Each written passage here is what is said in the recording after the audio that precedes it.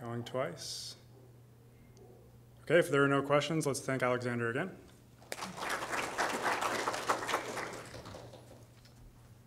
Okay, the final talk of this session is by me. Um, I'll begin as soon as my slides appear on the screen. All right, thank you. So, uh, my name is Jordan Mirocha. I'm a postdoc at UCLA, uh, where I work as part of the NESS group, uh, led by Jack Burns at Colorado. Um, and today I want to tell you about um, why now is a really exciting time to do low frequency observations from the moon.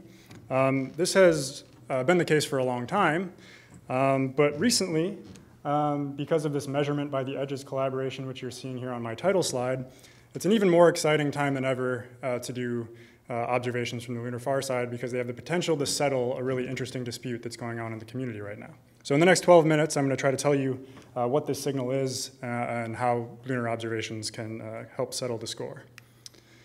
Um, so I'm going to start at the end, and in one busy slide, try to give you the skeleton for this entire talk. Okay. Um, so I suspect that most of you do not spend your time thinking about this uh, so-called global 21 centimeter signal, which is the one that's recently been detected. Uh, but uh, for the purposes of this talk, you can think of it as a probe of the thermal history of the very early universe. Okay, and, and one prediction for the signal is shown in blue at the right. Now, uh, recently, uh, the first reported detection of the signal was announced uh, of a signal at 80 megahertz and while this is roughly in the right ballpark of what we were expecting, the signal is uh, more than twice as large as we thought it should be. Um, and that's not really a shortcoming of an imagination. It's really twice as strong as the, the maximum allowed amplitude uh, that we thought the signal could take on. Okay, so this is a really startling result. Um, and it's led to a lot of activity in the field trying to understand uh, what could be going on. Um, one of the main explanations is that there could be some new, uh, perhaps exotic physics um, uh, in terms of dark matter interacting with baryons or, or, perhaps other things. And I'll come back to that. Um, and I think in order to figure out what's going on, we really need observations at very low frequencies. Okay, so this signal, though it can be explained through exotic physics, um, it could have more mundane explanations having to do with kind of run-of-the-mill astrophysics that we just haven't thought hard enough about. But if we try to measure the signal uh, during epochs when astrophysics hasn't really started, which is to say, you know, times before the first stars and galaxies form in the universe, we can really isolate um, the physics from the astrophysics. Uh, but to do that, we need to observe at frequencies below about 30 megahertz, which, as you might know, is roughly the uh, point where the Earth's ionosphere becomes opaque uh, to low frequency radiation. Okay, so to do that, we need to, to do these measurements, we need to escape the Earth's ionosphere. Okay, so now back to the bigger picture uh, of what we're doing. Um, this is the cartoon picture we show at the beginning of basically all of our talks in this field, and it depicts structure formation in the early universe, starting with the microwave background all the way on the left, uh, and modern day on the right-hand side. And so early on, the universe was a pretty, uh, pretty dark, uh, pretty uneventful place. Um, after the microwave background radiation was emitted, uh, the universe was basically dark, and just uh, cosmic expansion was going, the gas was cooling, um, uh, but in time, uh, small density perturbations grew, and that's when the first stars formed in the universe, which are depicted in this cartoon by these little specks of light. And we'd very much like to know what's going on with these little specks of light. These are sort of the birthplaces of uh, galaxies and black holes in the universe, um, but they're very difficult to see individually, uh, just because they're so distant uh, and faint. Um, but collectively, they have an enormous impact on the intergalactic medium, okay, which is depicted here by these bubbles, which represent uh, big um, uh, HII bubbles, so ionized hydrogen gas, um, which have been ionized by the sources that live within them. Okay? And so though we can't see the sources directly, we can see uh, the neutral hydrogen gas outside of these bubbles uh, through the 21 centimeter transition in the ground state of the hydrogen atom. Okay, so the whole game in this field is to try to learn about structure formation in the early universe through studying the intergalactic medium um, because it's just difficult to see the sources themselves.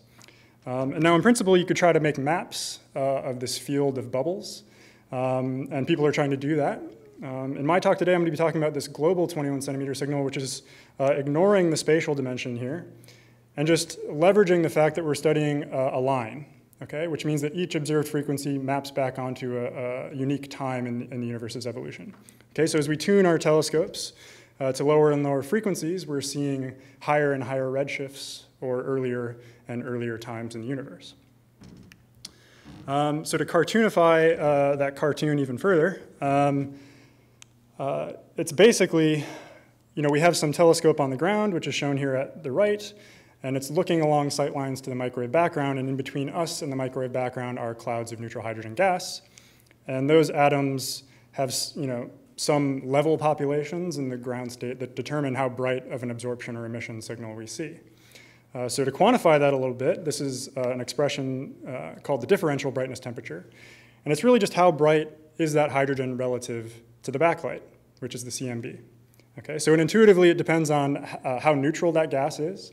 Um, so it's easy to think about this in the sort of opposite case. If the gas is ionized um, and the neutral fraction is zero, we don't see anything at all. Okay, it's transparent, we just see the background. Um, in principle, it depends on the de uh, density, but we're going to be averaging over large scales, uh, in which case that's zero. And then very importantly, this quantity called the spin temperature. Okay, and so the spin temperature just quantifies uh, the sort of relative number of hydrogen atoms in each of these spin states. Okay, and again, that determines how strong of a, a signal we see and whether it's in absorption or emission. Um, and so this depends on things you might expect, like the density um, and the temperature, because through collisions we can exchange, uh, you know, kind of a spin up, spin up situation for a, an anti-alignment uh, configuration. Um, but it also depends on uh, the presence of any background radiation fields, which I'll come back to in just a second. So it's, it's useful to think uh, about a, a, simplified example in which there is no astrophysics. Okay, we just consider a big block of the universe. It has some density, and it's just uh, expanding uh, with time and cooling. Um, and so I'm going to show you how a few quantities play out in this slide. The top panel is uh, the ionization history, which you've probably seen before. So cosmological recombination occurs a few hundred thousand years after the Big Bang, uh, and the, the medium goes from being ionized to quite neutral. At the same time, uh, the CMB uh, background radiation field is cooling. Um, and for a time, anyways, the gas temperature remains the same as the CMB temperature. And that's just because Compton scattering between photons and free electrons can exchange energy and kind of equilibrate these temperatures. Uh, but eventually, as the CMB cools, uh, that Compton scattering fails to keep these temperatures the same. And we have the gas actually cooling faster than the CMB. So this means there's an opportunity to see a difference uh, between uh, the backlight and neutral hydrogen gas, provided that the spin temperature of hydrogen is the same as the kinetic temperature of hydrogen. And in fact, we expect that to be the case for at least uh, some small amount of time, um, basically because collisions are still effective at, uh, in the early universe. So just collisions between hydrogen atoms can force the spin temperature to be the kinetic temperature, and so we should see a dip in the sky averaged brightness temperature just due to this decoupling. Um, but the universe keeps expanding, uh, it's going to keep expanding and keep expanding, and so those collisions eventually become negligible as well, and the signal tends back towards zero. Okay, so this is a bit of a long-winded preamble, um, but I think it's necessary uh, to describe uh, what I'll say next, uh, which has to do with EDGES. Okay, so EDGES re recently reported this detection at 80 megahertz, uh, which is in this gray band here. And so you might be wondering after all of this why we'd expect a signal in that band at all. Um, and this is where astrophysics enters the signal. Um, so once the first sources of light turn on, uh, they emit UV photons. Um, and the intergalactic medium is very opaque to UV photons, particularly Lyman alpha photons. Okay, so as these photons redshift and cascade through the Lyman series, spontaneous absorption and re-emission of photons can actually flip uh, the hyperfine spin states. Okay, so this provides a new coupling mechanism in the high redshift intergalactic medium. Um, and this is pretty cool. Um, without this, we would expect only a very weak signal at late times. Um, and it's cool because uh, basically when the first stars form, uh, turn on, uh, that's interesting in its own right, but they also tell you what the temperature of the intergalactic medium is, okay? Um, and that temperature, because it's cold for the reasons I just talked about, is still going to be colder than the CMB. And so we get yet another uh, absorption signal relative to the CMB, though at higher frequency. That's this guy here. Okay, now, uh, after the first stars turn on, this becomes kind of a mess. And depending on what we think about how galaxies form, the features of this signal can move all over the place. And so the, the game in this field, we thought, anyways, until recently, was going to be to try to measure the features of this signal and to kind of reverse engineer what the, proper, the parameters of galaxy formation must be. Um, but importantly, you'll notice in all of this that this feature at very low frequencies stays the same. Okay? And that's because it's just at such early times that stars haven't formed yet and they can't influence the signal. Okay? Okay, so let's talk about EDGES. So on March 1st of this year, it was announced uh, by this team that you know they detected something at about 78 megahertz, which is about the right frequencies for the astrophysical signal, but it's much too strong. Okay. Um, so there's been a flurry of activity that I'll talk about next in just a minute. Um, but just to show you what EDGES look like, looks like, it's kind of a picnic-sized table thing sitting in the outback of Western Australia. Um, and I want you to notice, uh, oops, uh, the units here. This is a weak signal. Um, here it's measured in units of Kelvin, and the amplitude of the signal is something like half of a Kelvin. Now this is small um, because the signal is sitting behind uh, an immense galactic foreground. I don't have time to go into the difficulty of this problem uh, right now, but suffice it to say it's challenging. And so I would encourage you to go talk to Keith and David, who are sitting in the back, who have uh, some posters describing in more detail how one might extract this signal uh, from the foreground. Um, but I'm going to completely sweep that under the rug for the next two minutes and talk about the theoretical interpretations of the signal, because that's really what motivates, even more than usual, why we need to go to the moon. Okay? Uh, so just to orient you here, I've, I've replotted the EDGES signal now with frequency on the x-axis instead of redshift. Okay, so this is the 50 to 100 megahertz range. And I'll just point out some things that may be familiar to you, to you, like the FM radio band, which straddles the high frequency edge of the EDGES band, um, and the ionospheric cutoff, which is about 30 megahertz. Okay. Now, the region I've just um, added crosshatching to is the region that we thought it was impossible for there to be a signal in, in standard cosmological models. And that's basically because in the standard cosmology, we know what the coldest temperature the, the intergalactic medium can be is at any given redshift. Okay? It's just been cooling since recombination. Um, so the signal that was measured is stronger than we would have thought, which means naively that, that the gas must be colder than we thought it could be. Okay, at least that's the first idea that came out of this field. So you can uh, scratch your head, as many people did after this result came out, and ask, well, what do we have to change in order to get a signal this strong? Okay, and the, uh, I'm running out of time here, but I'm almost to the end. Um, the first thing you can look at is the spin temperature and say, are there ways I could make this smaller than we'd expect?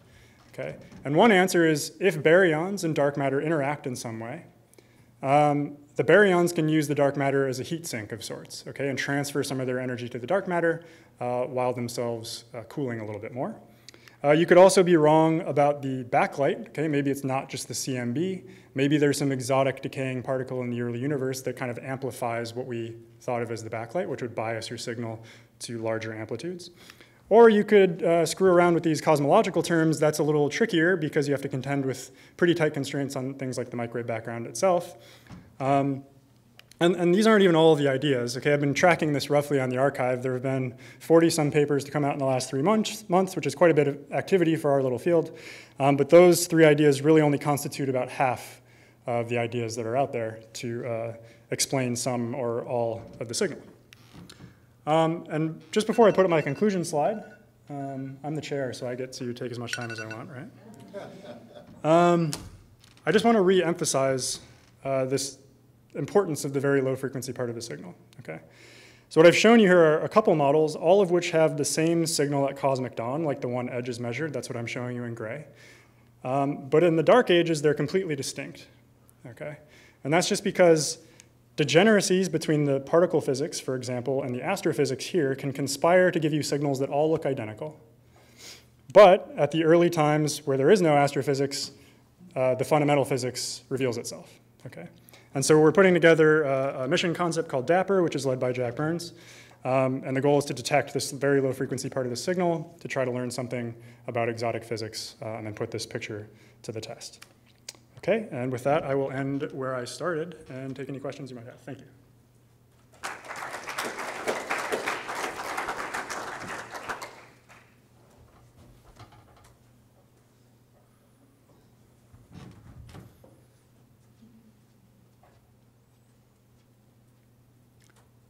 So, Jordan, can you say a little bit more about what this implies about the nature of, of dark matter? Um, so, have we, you know, have, have physicists been looking at the wrong place for dark matter so far? Does this give broader insight into how uh, we can do some experiments, but because of course the physics community is very frustrated not having actually detected this dark matter, which is. Yeah. supposed to be the dominant matter uh, in the universe according to us astronomers.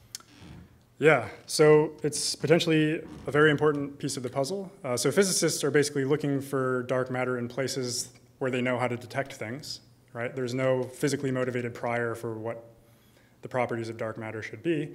Uh, I don't have a plot handy, but typically people look at things in sort of mass cross-section space. And these measurements do carve out a region in that parameter space that is not accessed by any experiments, at least that I know of right now. Um, but it depends on what you assume about the kind of interaction between dark matter and baryons, if there is such a thing. Uh, the type of interaction that's been assumed so far is actually, uh, you know, Rutherford scattering, which is to say that dark, uh, dark matter could have a very small electric charge, uh, which gives you a cross section that depends on the velocity the minus fourth power. Okay, and um, for certain regions in that parameter space, this kind of works out. But one of the very interesting things that has already been revealed is in fact, if this is your explanation for the edge's signal, not all of the dark matter can be of this kind of milli-charged variety because it screws up other independent constraints. Okay? So if that holds, that's a very profound thing. It would suggest that dark matter isn't just one thing. Um, so, so I think, yeah, this is a very interesting thing, and potentially, you know, going to frequencies where we don't have to worry about the astrophysics and how marginalizing over the things we don't know there um, affects our conclusions, I mean, that's super exciting. So, any more questions? If not, I will invite the rest of the panel to join me. if uh, I don't know if we should interpret the lack of questions after the